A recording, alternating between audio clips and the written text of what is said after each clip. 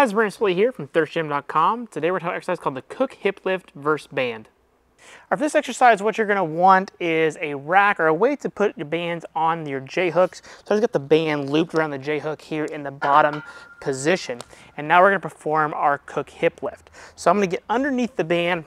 I'm gonna place this around my hip, kind of like a uh, seatbelt based position.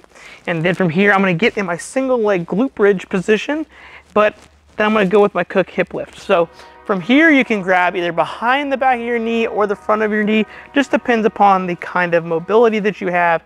This leg is completely flat on the ground. And then from here in this position, I'm gonna take my left glute and hamstring, drive it up towards the ceiling, get a good squeeze, and then come back down.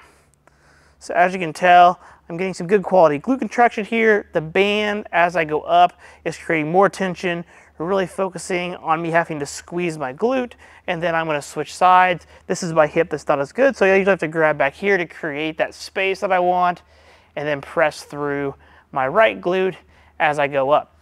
Key coaching points here, you wanna make sure that you're not arching through your low back as you go to do this.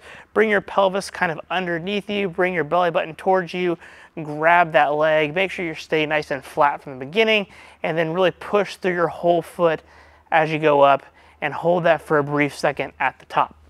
Now you can load this up with other weight as well and just use the band to have to focus on a better glute contraction to load this up. But I really like this as an activation based drill to get the glutes and hamstrings firing and contracting, feeling them very well before we go to do any other kind of lower body exercise.